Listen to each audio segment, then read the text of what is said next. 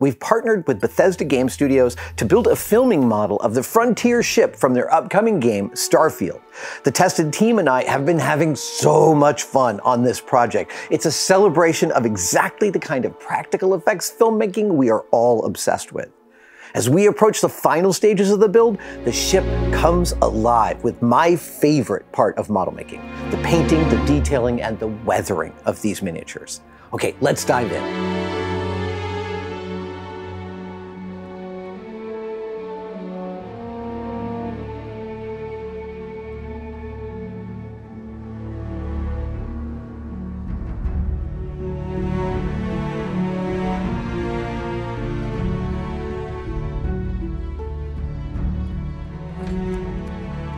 So now I am doing some masking for painting the interior, and the painting goes in some specific steps. You want your big your big color fields first, like any. Oh yeah, I think I'm gonna do. Great, I'll do that like that. Um, want to do your big color fields first. The inside of this is going to be a, a, a, at least one tone of gunmetal, but it might actually be two. I'm not sure yet. The masking is also this great moment for me personally where I sit and kind of really understand the piece. Uh, I've got the broad gestures in, and now I'm starting to like really think about how to break this thing up, how how I'm going to uh, create scale. I can't paint every little individual thing. So efficiencies have to be found. And that's sort of like the journey that I'm on right now is thinking about ways to layer that in. I've got some vinyl for the floor, which I'm really excited about. Can't put that down until I have the base color of the interior and it's not just primer. Yeah, I love this part.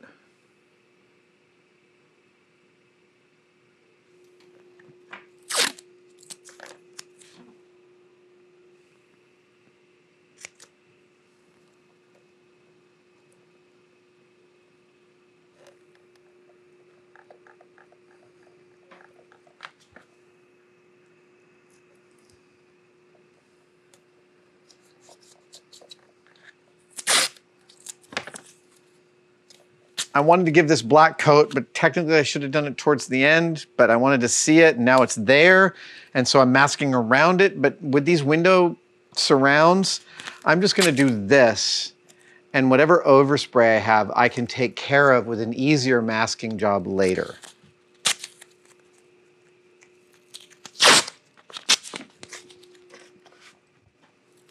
My impression is, my inclination is to do a darker gunmetal here, and then at this break, go light, mm-hmm. go lighter gunmetal and the interior of this to make it all sort of pop and draw your eye. I think if I do that in a brighter gunmetal, that's a really nice, easy to mask transition. I don't have to worry about it over here. Uh, and I'll also pull the door and paint it one slightly different value. Okay. It shouldn't be the same value as everything else. Uh, then I can go in and detail the you know those are all black and stuff like that. But I think that's a great split because that's three that's three separate color values across the across the cockpit.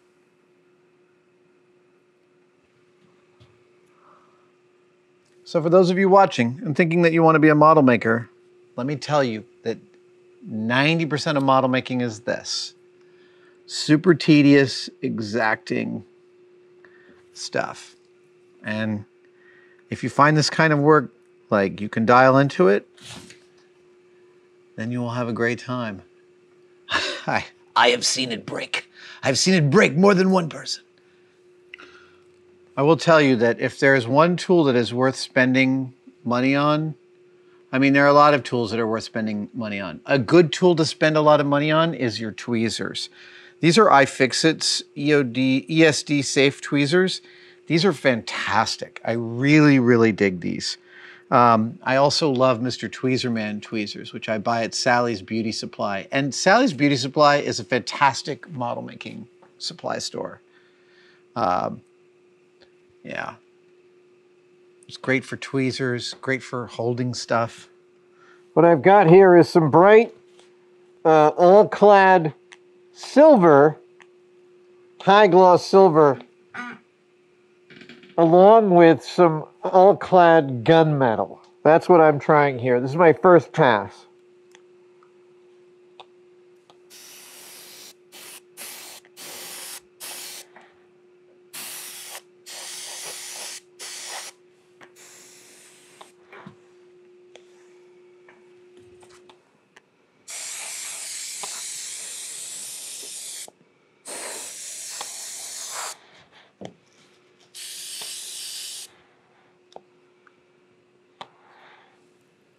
That I'm happy with. I like that color. Okay, great. Now I'm going to go in and mix some darker colors. However, It's the end of the day. So I'm gonna let this dry. I'm gonna clean out my airbrush. I'm gonna mask perhaps for the next two color passes. Uh, but that's a great start. I like the subtle metallic that I've got. There's my glasses. This is super fun. Super fun. It already starts to kick so much more light. Do you notice that? Like there's just all these little subtle bits that are like. It's really cool.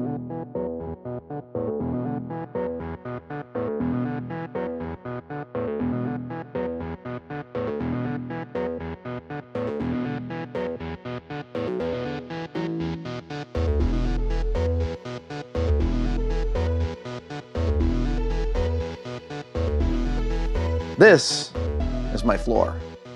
Actually, it's vinyl stickers that will make my floor, and I've just got to clear away a bunch of the vinyl and then transfer this to some transfer paper and lay it down in here. It should really, really pop the scale of this. Right now, I've just broken out the colors. I got dark here, silver there, medium dark, light gray.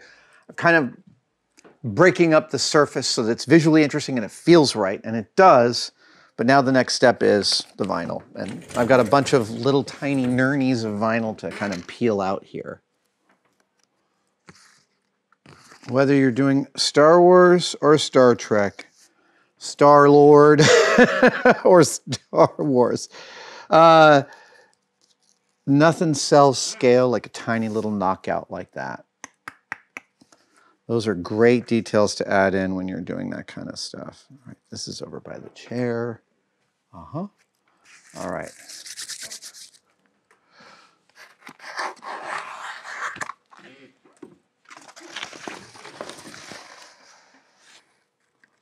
Space is at a premium in this model right now. If I was just doing this floor without it being attached to the ship, I wouldn't have to trim this down so much. But because it is, I do.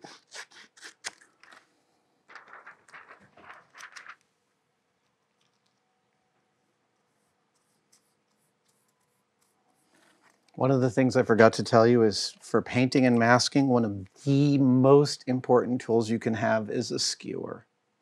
Bamboo skewers are phenomenal for getting your tape in where it needs to go, for burnishing, for peeling. Just you can't have too many of these when you're doing this kind of work. Okay, I feel good about that placement. So now we're going to uh, we're going to burnish it down. God, it's been a long time since I've done vinyl appliques. Now your best way to peel off is to peel back like this, like in the sharpest angle you can. That way you can use the skewer to hold down stuff that's being recalcitrant or uncooperative. Oh yeah. Come on. There it is. Dude, that's actually kind of great. Right? It doesn't quite map. There's a little bit of translation difficulties, but that's fine. I'm just, uh, I just, I actually need to compress all three of these units together a little bit. But that's, I think that's actually in my favor.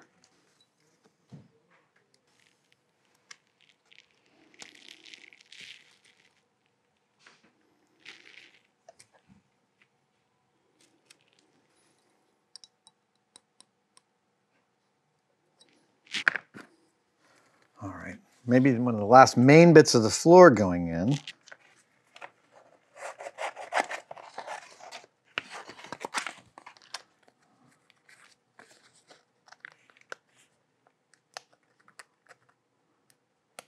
This uh, transfer paper, I had forgotten how much I love this stuff. It is just fantastic for alignment and putting stuff in like this. I mean, there's just no other way. Great.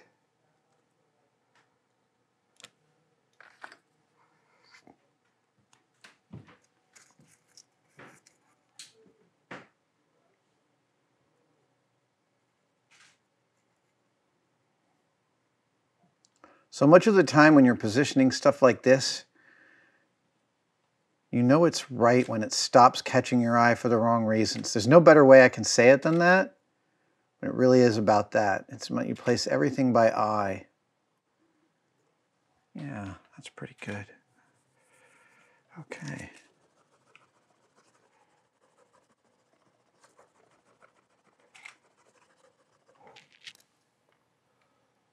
Oh, oh, oh, oh, come on. There it is. Oh, yeah. All right. Oh, no, you stay down. There you go. Now you're behaving. Awesome. When you're doing scale stuff, boy, does your stuff have to be square and perpendicular. It's really clear when you don't get it right. Oh, there it is. Better. Lovely. Lovely.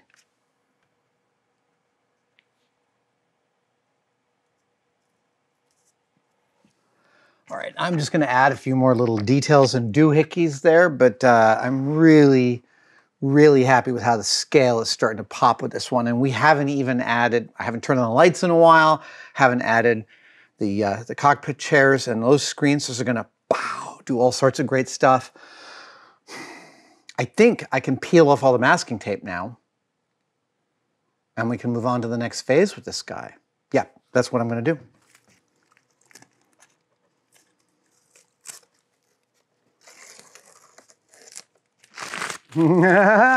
That's a weird laugh. I don't laugh like that.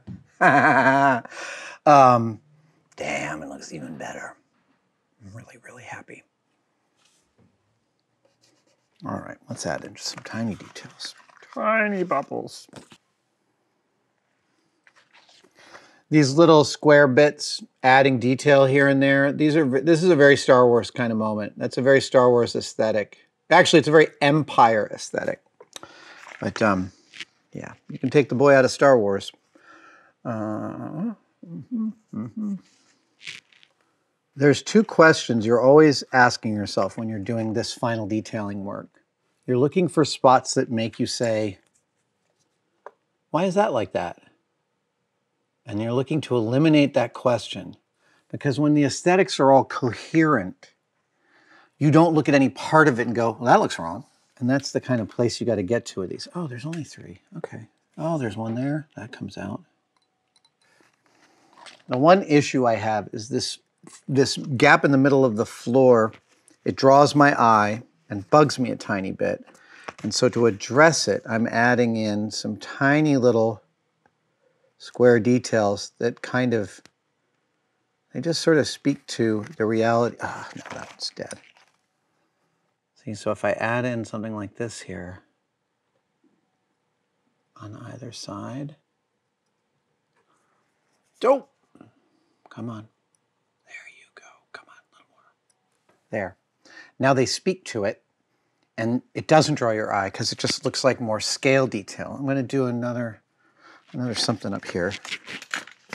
And you don't want it all to be too uniform either. That's the other thing is that you want to, yeah, actually,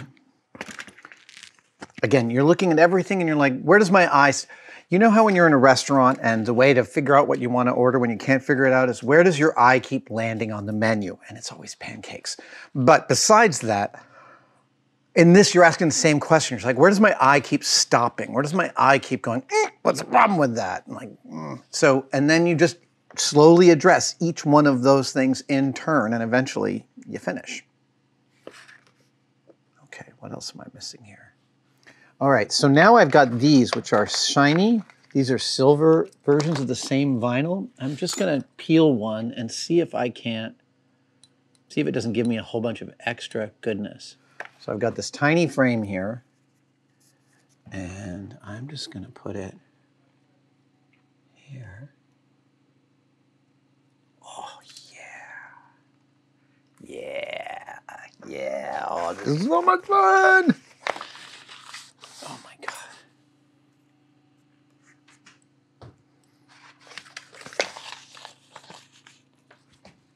Oh, this is going to be so good. I love that we did this. This is the Cricut cut this stuff out.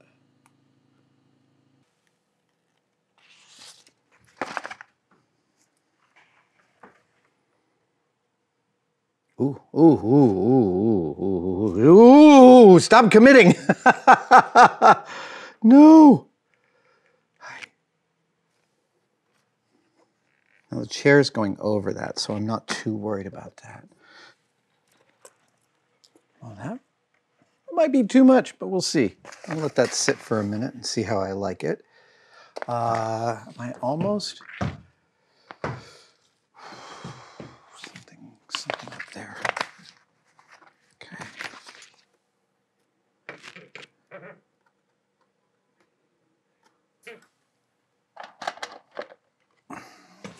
Dude, it's starting to feel like a thing. Separation is nice. I'll weather that a little. Actually, I could get a couple of little nurnies up on there. Let's try that.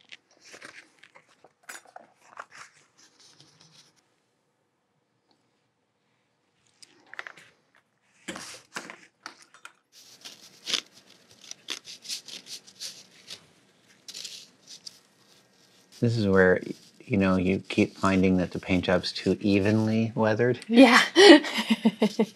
Like I need a bigger dark spot over here. I know I have to I keep reminding myself that as I remove parts, I'm like, no, leave a bigger chunk here. You know, Right. like, let it be different. I'm also just biding my time until I get to start to add some rust. How is that working on the isopropyl I think it's down? doing good. Take take a look at these two. I did a first pass. Oh, I think that's great. Yeah, I don't want to take off too much. Mind if I try a little bit? Please. Oh. Is it uh, out here? Yeah. Yeah, I think you can go just a little bit more vociferous. Okay, cool. On the rubbing, but I think that's.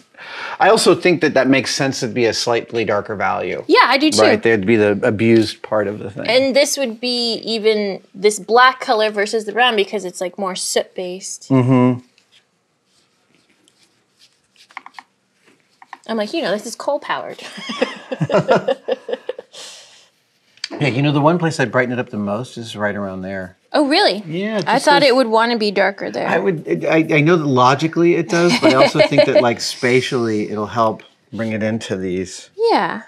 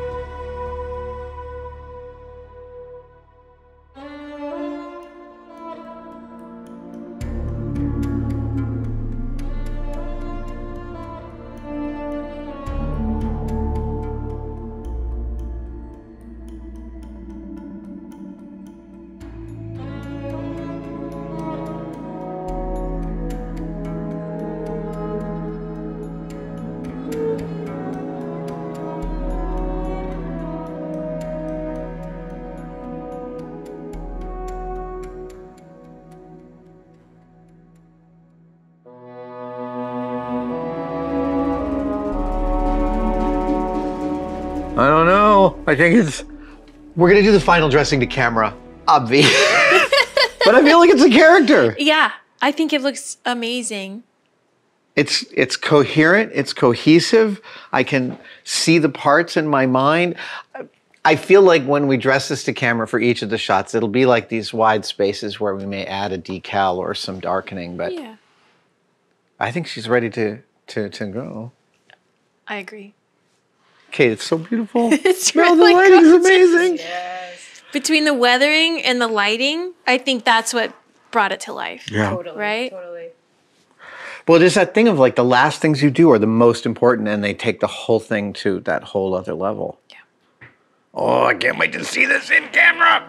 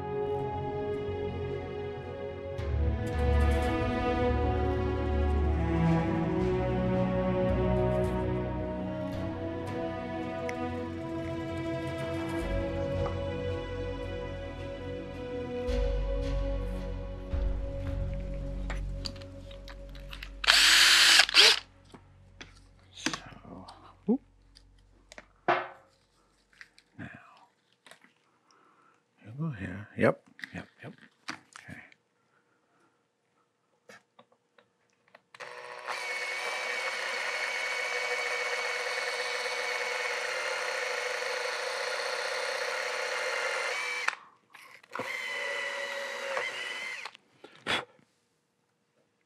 Great. All right, now I got to do a little painting on this before I glue it in.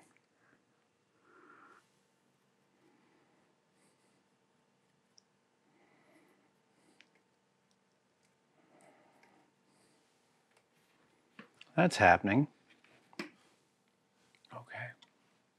Now I need a little rub and buff. Buff. To dry brush some of the buttons on this cockpit stuff. Let's just see if that can work.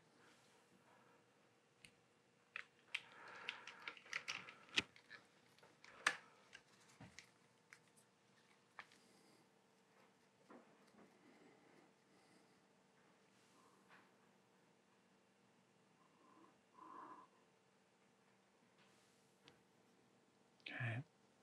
That's not bad.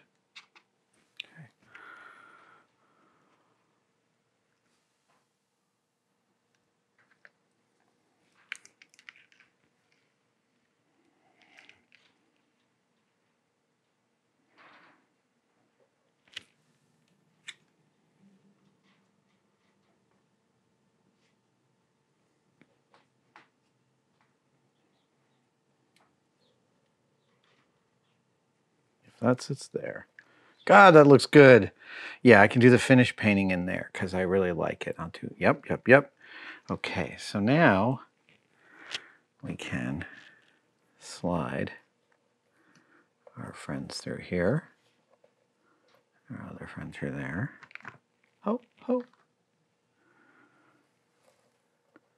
Okay, that should be everybody. And I should have been able to do that without disconnecting any wires. So we're just about to do a systems check on that. Oh, that's great. Uh, right. But I'm really happy with how that looks.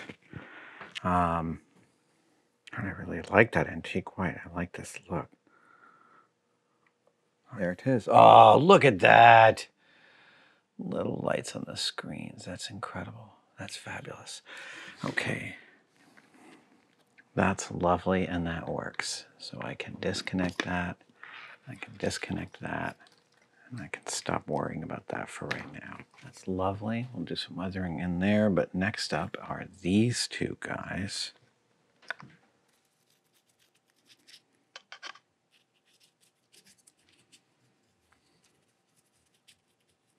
was just a little afraid of doing this. I don't know why. I don't know why I was afraid. It came out great.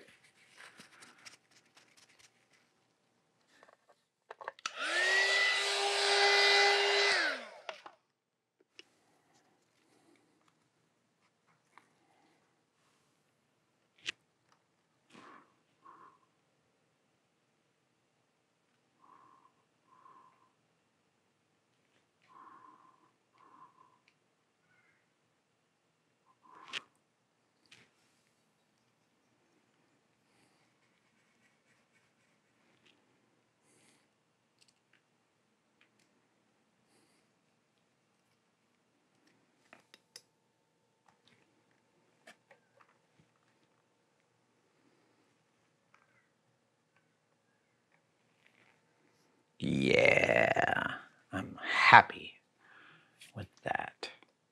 So now I've got this guy. Let's see what I can do here.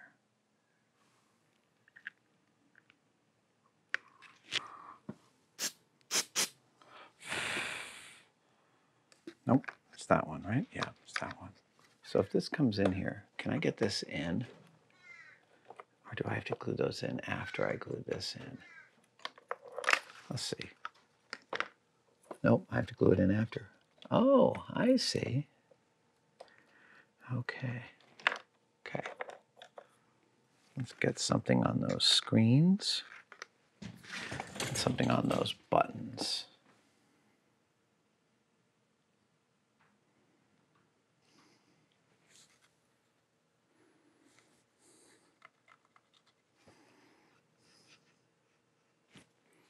So this is an example of something you can't see until I paint it. I'm coming in here and I'm gonna just dry brush with the little rub and buff on a Q-tip.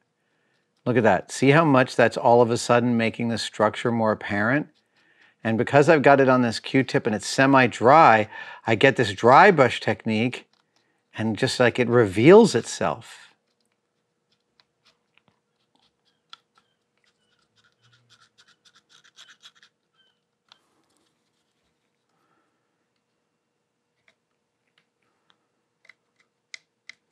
And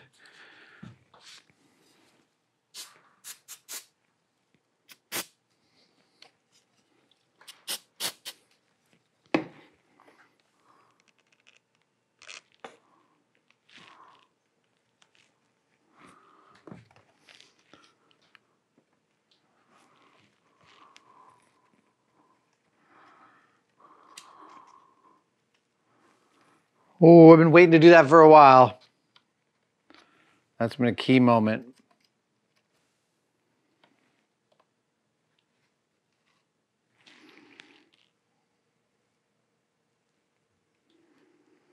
Damn, that looks pretty.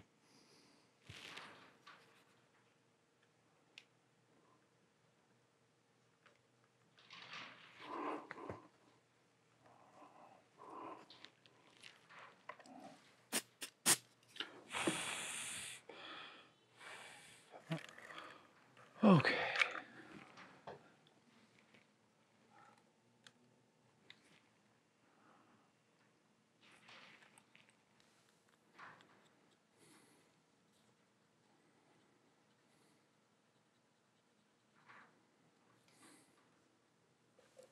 Okay, and that's living there for now. That looks great. This looks wonderful. I want to get some chrome on that thing.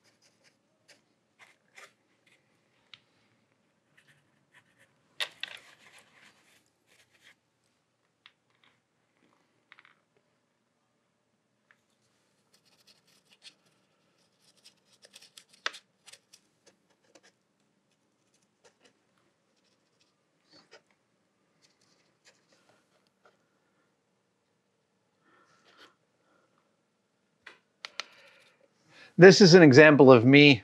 Well, when you want something to be less noticeable, you can darken it. I mean, obviously, actually, yeah, you can just kill its value next to other things. That wall is not my favorite wall. I don't like this back wall. I think it's a little grungy. So I'm going to hide it in a couple ways. One is I'm going to weather some of these uh, like shipping packages here, and I'm going to place them in front so they draw your attention. Uh, and right now I'm doing a kind of, uh, it's not a final weathering pass, but it's the beginning of the last weathering passes. This is just a single value. It's just a, a black wash, but I'm just going in and I'm just sort of taking care of whatever details need a little more refining, you know, down in the corners. And I'm just trying to make it feel like it's not brushwork, but like I'm actually seeing wear from people. Uh, and yeah, just sort of going through and buttoning it down. Looking for everything that's catching my eye in the wrong way.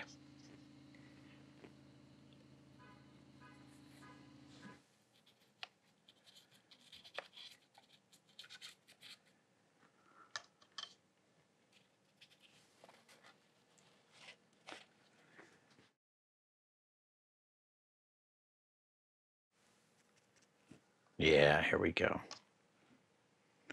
There's weathering the piece and then there's weathering in situ. And weathering in situ is like the last bit, but boy, is that fun. Just like how do these parts relate to each other?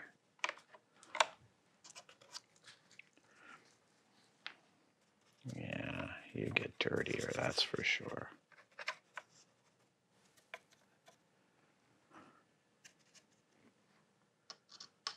Slowly. It this kind of work feels like you're not doing a lot for a while, and then it starts to take shape, and you start to see you start to see what you were originally intending. There we go. That looks, yeah, see, I'm starting to be able to see it. And do a little, uh, uh, and do a little, uh, uh. Yeah, that separates that out. That too. Sometimes if you have a silver but it's not bright enough, you can paint it on and then you can get it to feel even brighter by painting the dark around it. I can bring you out some kind of cool details and separate things out.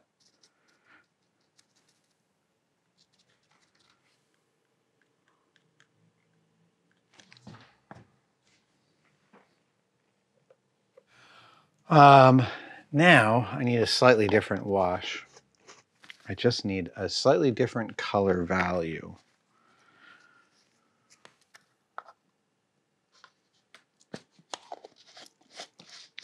And then let's lighten this up. A little burnt umber. No, normally lightening up dark colors is not a great thing to do because it's really hard to lighten up dark colors. But, oh, that actually worked out great. Let's get some gray in there. I want a sort of a dark rusty value here.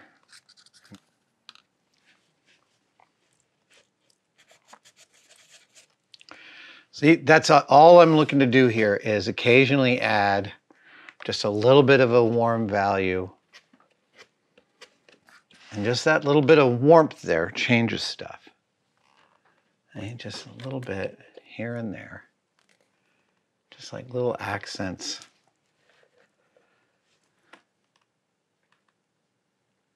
Separate things out just a little bit. Give you a little bit of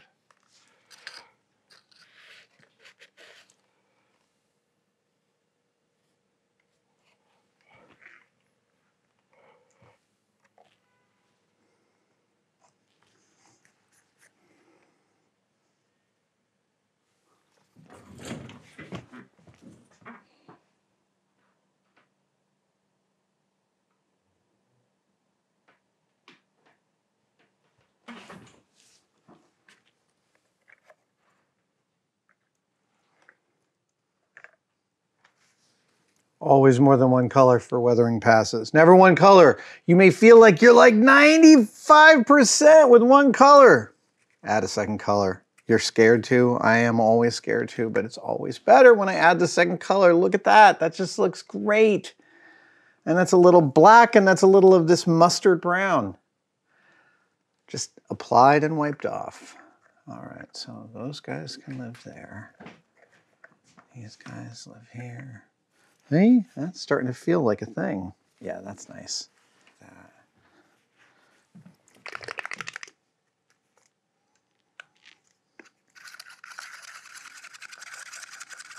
There we go. And part of me wants to airbrush this, and another part of me wants to actually brush it. And the brushing is because it gives me more control. But the question is, will I get the surface finish I want? There's only one way to try it. Yep, I like that. I'm going to go with that. We're going to paint this.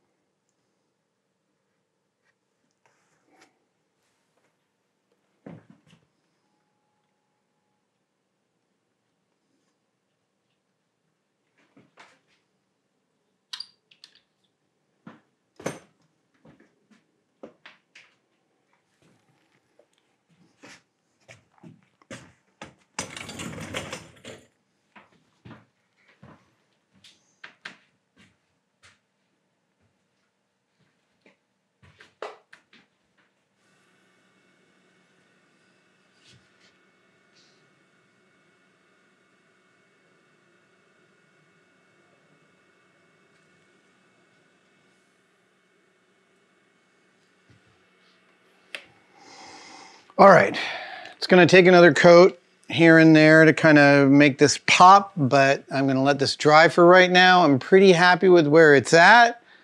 It's feeling right. You know, there's, it's hard to get this spread, actually, I see what I need to do here. Yep, okay, I need to do a little more here. So I was just gonna say, it's hard to get the spread right, but you, it's like, yeah, I'm kind of playing by my own rules here. It's funny, I was confronted with something like this this weekend. I have a rug in my house that moves. Like every time you step on it, it moves a little bit. And that's fine. We've lived with that for years. And then I was like, you know what? Screw it. I got some carpet tape and I stuck it down. But then when it sticks when you have to stick it down, you got to have a point of view about where it goes.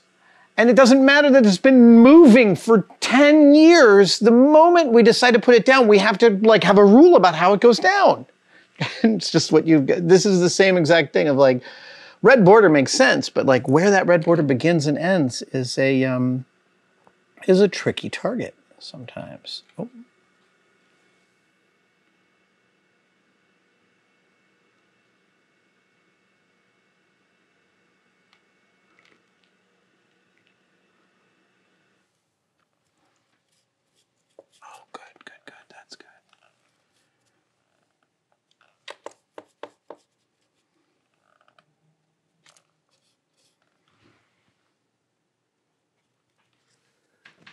Okay, I think this is the last touch. I think I'm just gonna call it after this because, well, I could do this for another 10 years and still not figure I'm completely done, but I think I've added all the extra textures that one could add to such a model. This is so much fun.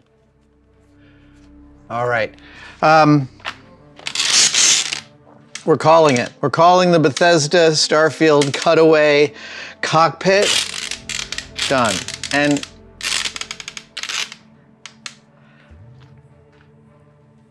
I'm really happy. I just want to spend time in here. That's the thing. And that was the goal, right? Like if I want to be if I'm drawn into the thing, I am achieving the thing that I wanted out of it. Um, the work that the Bethesda designers did is so lovely. The configurability of this is really thrilling. And it, it this is this harks back. It harks to the Matrix. It harks to the Abyss. We get a little Millennium Falcon. Get a little modern American military. It's just stupendous. And I think everyone owes Geof Darrow a debt of gratitude for these kind of designs. Uh, one of the lead designers on the Matrix films. And if you don't know his comic book work, you're totally welcome. Hard Boiled is an absolute masterpiece. But I am really happy with this. I've always wanted to do a cutaway with that particular color red, that very military, that patent kind of um, patent model kind of thing. And I'm really happy with how it came out. Even brushed, it like has nice crisp edges. And yeah, put a fork in it. I think it's done.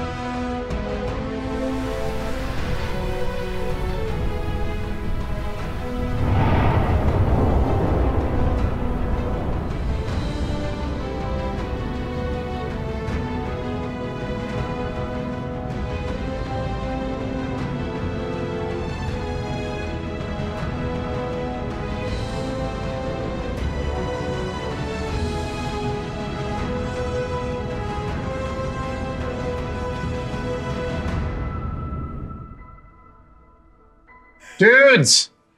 Um, can I just say, like, from the top level, this is a lot of stuff we do on the channel is like a simulacrum of the thing that we do for a living. But this is like we really genuinely delivered a shootable MoCo filmable scale ship in five, six weeks. Yeah, with a bunch of prep before Absolutely. that. Absolutely. But even still, even given professional standards, this is a tremendous amount of work that we got done.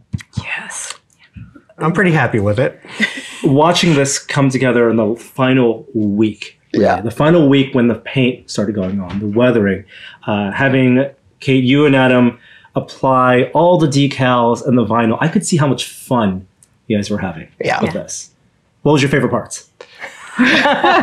For me, um, I absolutely love the vinyl as a Greebly. And I hadn't, I've done rubdown transfers as Greeblies for years, but the dimensionality of the vinyl and all those little sticker packs you made with triangles and circles and such just made it so much fun to do final detailing on this.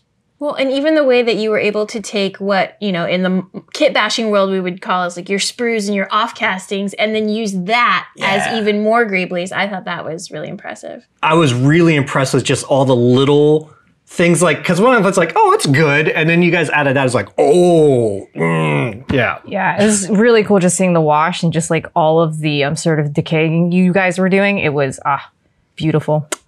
Well, and each of the things that we worked on is all about helping the visibility, right? The lighting and the separation, the mechanical attachments. And it's so f- funny to me that you spend all this time on it to get it to the state where it's monochromatic. And I always feel like it looks kind of good, but I don't know if we're gonna. And then you start to paint it, and this whole other ship comes out of that process.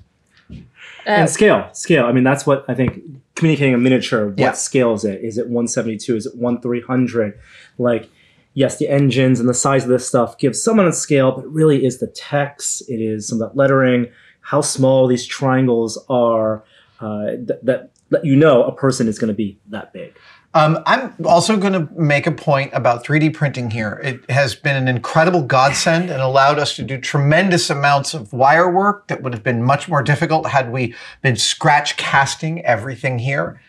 And that 3D printer gave us some issues. There were time issues with getting all the parts we needed in the timely fashion. And it's not like it's just this button that got flicked and made building things like this way easier.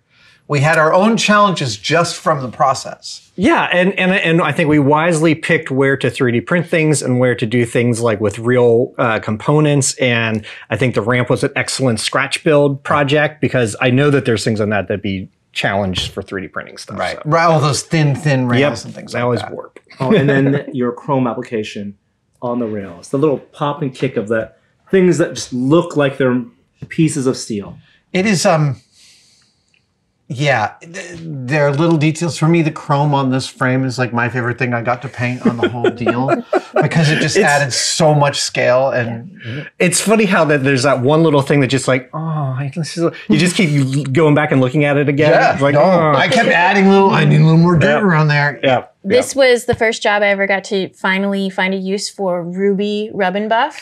I, my whole career, I've been like, who uses this? I don't have anything. And I was like, this is it. I'm using it. I used some of that white rub and buff to get buttons to stand out. Oh, on the oh, machine. nice. Good Yes. tip. Very Good cool. tip. And this is my favorite. Like of all the colors you picked them out, this engine color is so perfect. I love it. It just Yeah. reads so right. I freaking yeah, and I just love the glow that it kind of produces. I frankly, when we put it together and we just like finally when the lights were actually in context of the ship, that was just like a satisfying experience to be like, oh, it it works. Comes well, it's a living, breathing thing now Yeah. because you know it's a static model, but the lights are the thing that's animating, and just watching it flicker, having this animal-like shape, Yeah. it feels like a living, breathing thing in front of us. it really does. And, and I, I don't know if I told the story. I probably he did. But um, back when we were working on Galaxy Quest, Grant Imahara did the electronics for the engine nacelles for that ship. And it was the first time anyone at ILM had custom printed a circuit board, but he also did the animation so it could be advanced one frame at a time for the motion control ship. And like I thought about that, like how far we've come uh, to that we could just build this circuitry in with off-the-shelf components. And I love the programming you wrote for both of the engines and their little flicker. Sweet. It's really amazing. And then Adam, you got to kind of fulfill one of your dreams of building a cutaway model. I That's just all I want to do is live in here, right? I spend all my time looking through here, being like, "Oh, that's where I would store my lunch." And I love the fact you did you you did the traditional cutaway red. That's just really Yeah. seals the deal. Well, and then it's not a flat cutaway. That's the best part. Is mm-hmm. it's it, it goes with the layout of the ship. And that was one of those ones because like Norman Sean brought this over to me as half, which is totally sensible. And I looked at it, I was like, that can't work. It has to have more. and it's one of those ones of like, you know, You were very right. it, it, it, it was I felt like I was poking around in the dark for a while. I could not be happier. I've always wanted to do this red border cutaway, and I've never done it before this model. um, I, I got to give a shout out also to the aesthetics that we've been working with because they come from Bethesda's game designers, and they're they're really spectacular. I was really impressed. Like the talk about the cockpit, like the design on the chairs, the amount of detail that they put on that. I was impressed for Yeah. a game access. Yeah, it's good. It has that, that NASA punk aesthetic. Yeah. yeah. Absolutely. A hundred percent. Um, This was. I, I'm still double checking myself. Is this really as much fun as I thought I just had? It really actually was. It seriously was. It was. It was. You know, there, challenge. there was stress as normal, but like I think we really had fun all together, and I hope that it shows. Well, it's also this. I mean, I don't mean to say the stakes are low because they're not. Our client is real, but we you know, most of the time you're building this, you're taking it somewhere where a psychopath's going to yell at you for a few weeks. you know, or just a narcissist, a garden variety narcissist, maybe. Uh, this, there was none of that. It was very pleasant. Well, hopefully that fun's not over yet because I think the purpose of this model still needs to be fulfilled. Be fulfilled. yeah. Absolutely. Uh, are you guys ready to take this down to film with it?